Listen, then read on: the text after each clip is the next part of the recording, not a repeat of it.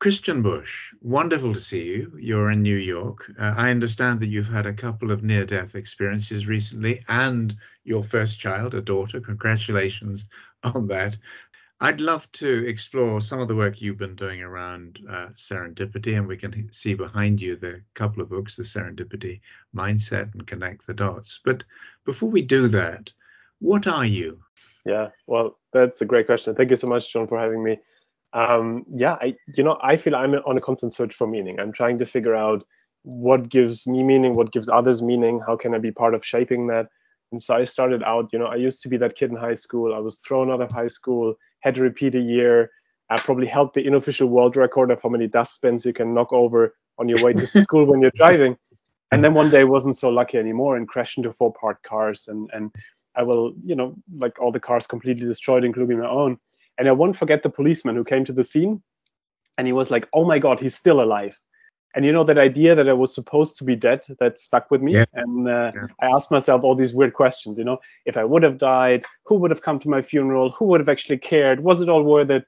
And at that point, I had only depressing answers. And so it took me on this kind of intense uh, uh, search for meaning, trying to figure out what is life all about. And we just talked about that, you know, I, I, I found that book that I uh, highly recommend everyone Viktor Frankl's Man's Search for Meaning, which helped me find my meaning, um, which I realized is, hey, I love connecting people, I love connecting dots and the sparks that come from that. And so that took me on that journey as community builder, entrepreneur, social entrepreneur, and then later um, into academia, um, trying to figure out, you know, because we were building all these things, but we were building them while we were flying. And, and we talked about impact and all these things, but what did we actually know? And so the inner imposter said, hey, why don't we try to figure out what's actually known. And so that was kind of the more academic side coming out and saying, okay, are there patterns behind this? And what's fascinating, John, and I think um, that's something you know with you as well, right? I feel people like you intuitively do a lot of, of, of that kind of serendipity work. But what I found fascinating is in our research around the world, from you know uh, Kenya to uh, to to to the US, the most successful purpose driven people they seem to have something in common which is that they somehow intuitively cultivate serendipity. They see a little bit more in the unexpected and then connect the dots and do something with it. And so the, the fascination really has become is there a science-based framework for this? Because that now feels the kind of most mm. meaningful way to to channel my energy. You're now working you worked at lse and you're working at new york university and my experience of, of the academic world is, is positive in large measure where people are properly learning. But the politics of the academic world are pretty severe at times. And people, I mean, you talk about a science of serendipity. Are you doing that simply to be academically credible, or is because you genuinely think there's going to be a, a science there? I feel most of my life has been serendipitous, right? The way I set up the companies together with others, we met serendipitously, we kind of came up serendipitously with ideas um, the, the, way I found the love of my life, the way my child came into the world. So I feel I've always been operating that way. But mm. then, you know, when I started, I wanted to, to work on it in academia. People would say, Christian, like this is academic suicide. Like you, you will, like the, you, you cannot work on something elusive like this. This is kind of like an art, and it's not a science. And so what I found fascinating is um, around five, six, six years ago when we kind of started to doing the, the, first kind of like deeper studies around it that that now have been published and that that kind of like in a way gave the academic kind of credibility from a management perspective uh, on it. I think what what became fascinating is that a lot of people from around the world would say, "Oh my God, I've been secretly trying to research on this for a while." So now, kind of, I feel like a bit more of, of legitimacy, and that's the beautiful thing. I think in management is relatively new kind of quote unquote scientific approach towards it, um, where a lot of times would have said, oh no, like, you know, luck is something that we can't really control. And we're essentially saying, no, there is there is this kind of smart luck that depends on spotting the unexpected and then doing something with it. And that's the process. That's this process of spotting and connecting dots and we can observe that. When we observe people we can look at counterfactual so we can see how people differently react to particular situations and what could have happened had they. So um, we can do experiments. So there's a lot of ways of how we can study it now, and so that's really the science part.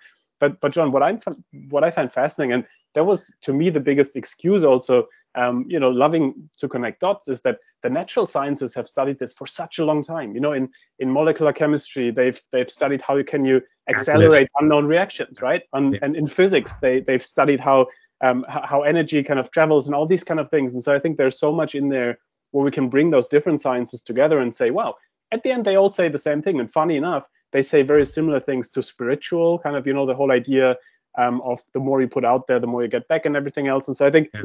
serendipity is a beautiful kind of amalgamation of art, art and science in a way. And, and do you feel alone in the field, or uh, you did say that you found lots of people who were thinking uh, along similar lines, but academically, are you uh, in a field of one, or is it a discipline that is expanding?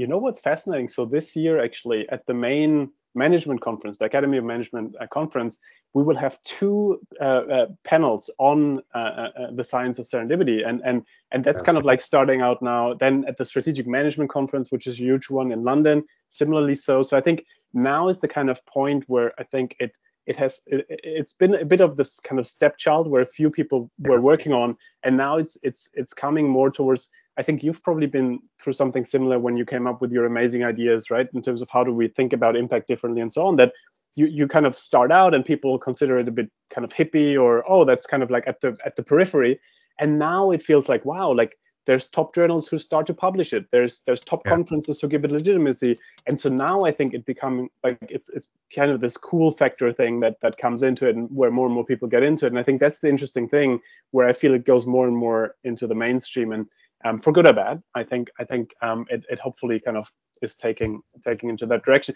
I wonder whether certain people have this capacity to be uh, to play into serendipitous um, uh, force fields or whatever, and others just will always struggle uh, with that. Do, do you think it's a teachable uh, skill, or do you think it's something you have to be born with? I mean, Pamela Hartigan, my co-author on the Power of Unreasonable People, always felt that entrepreneurship was almost unteachable. You, I mean, you could teach components of it, but but really you had to be born that way. Do you have to be born serendipitous? As someone who's in the teaching profession, um, you know, a lot of what I'm thinking about is how much of what we do is pattern recognition, how much yeah. of what we do is about building a muscle for something versus what is then the thing you have to experience and you have to do. And and so in this regard, you know, when I think about serendipity, some of us do it intuitively right like some of us grew up that way and and now this gives them a language like i you know that's like the initial impetus for writing this was to say let's give people a language so that they don't have to hide who they really are if you're the yeah. ceo who uh, you know came up with um, a, an amazing new thing usually you go to the into the boardroom and you say i planned this i did this and then this happened.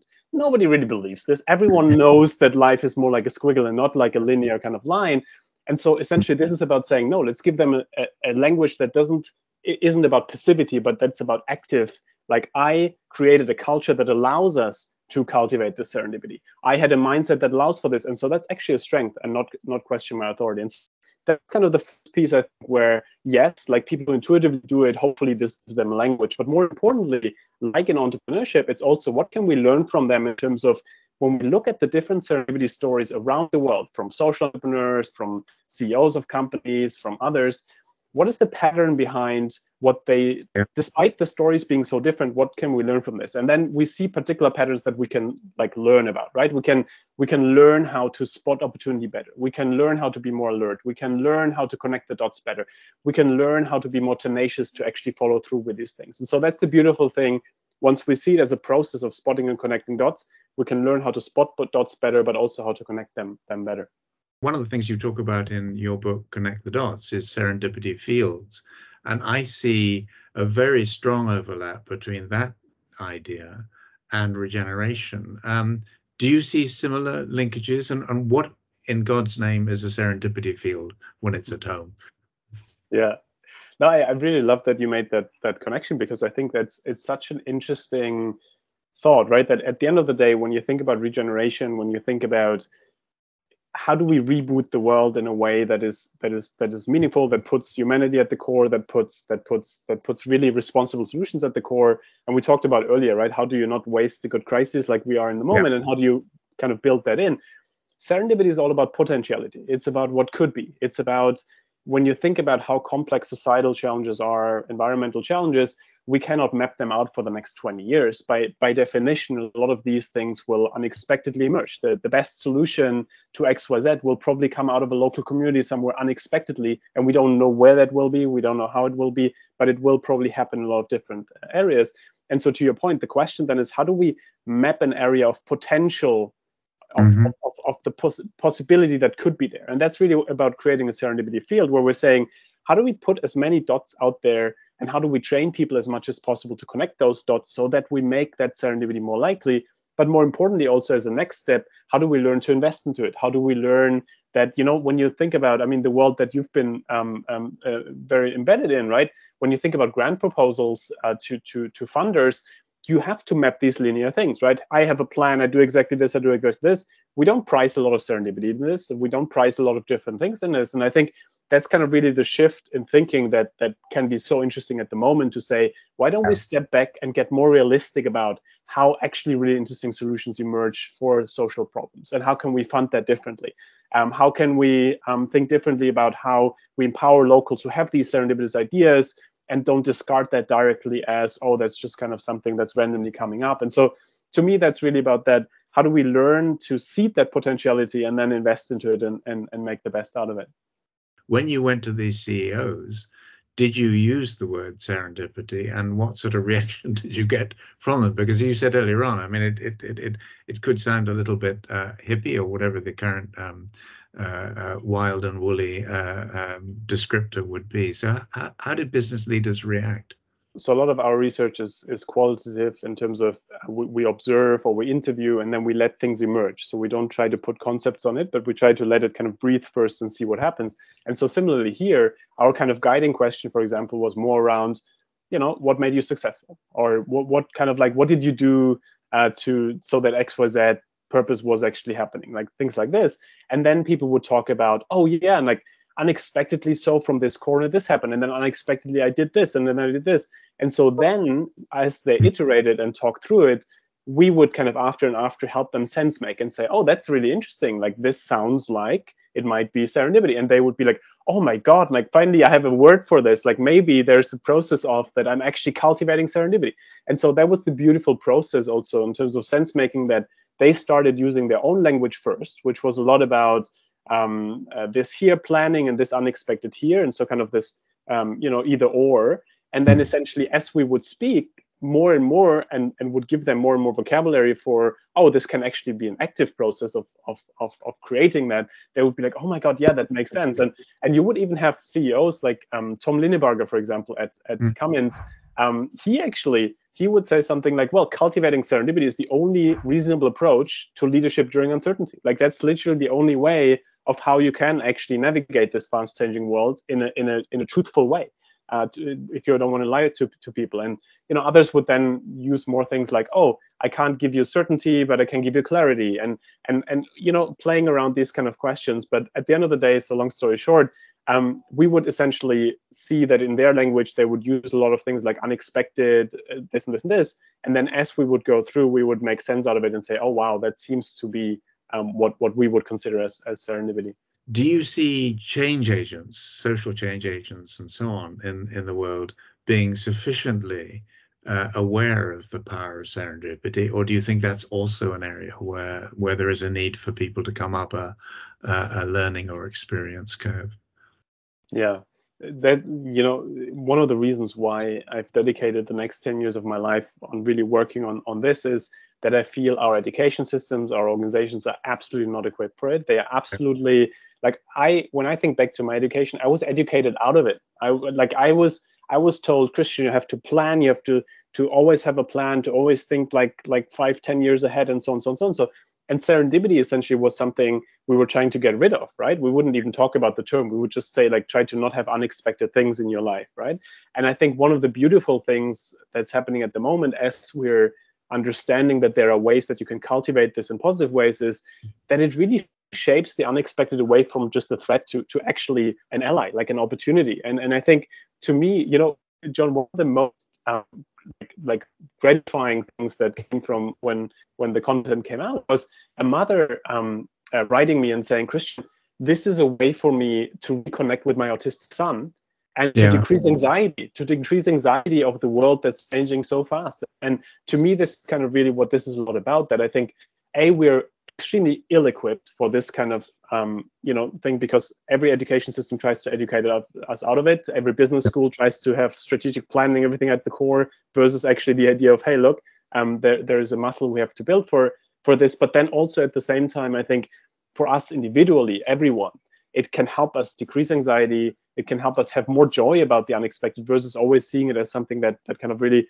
deters us from it. And um, i don't know uh, john if you had the opportunity so a very uh, a wonderful mentor of mine saul estrin who's around the corner from you at lse uh, he always used to tell me christian people like you always think there's only one road to rome and then you realize you don't even want to be in rome and and to me that kind of really like like hit a nerve in terms of saying wow like you focus so much on this one career trajectory one thing one solution or to your point like uh, one way to make the world a better place and then like you might actually realize there's a much better way to do that and and, and maybe that's even uh, leading you into something completely different. And that doesn't have to be a bad thing because actually maybe that's allowing you to understand what your potentiality is. And i think that's really kind of to me that would be the biggest shift over the next 10 years to say how do we get that at the core of education systems and organizations to say let's see the unexpected as a potential source of opportunity and yeah. build a muscle around that rather than trying to minimize it and do like risk management that kind of tries to get it away part of what I'm looking for is the not the secret, not not the universal answer, but the, but the, but the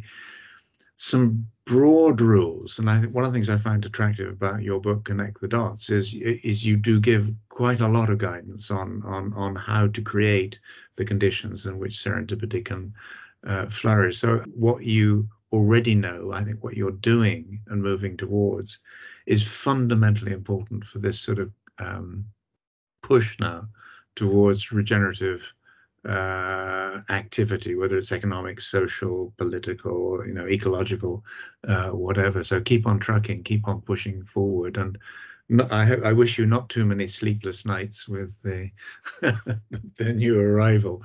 And again, Christian, immense thanks for, for doing this. I'm I'm really very grateful indeed. Well, thank you so much, John, and, and I would love to continue that conversation. I think especially your thoughts, um, you know, around the sense making towards regeneration. I, yeah, I'm yeah. very much looking forward to the potentiality of that. Fantastic. You're a marked man.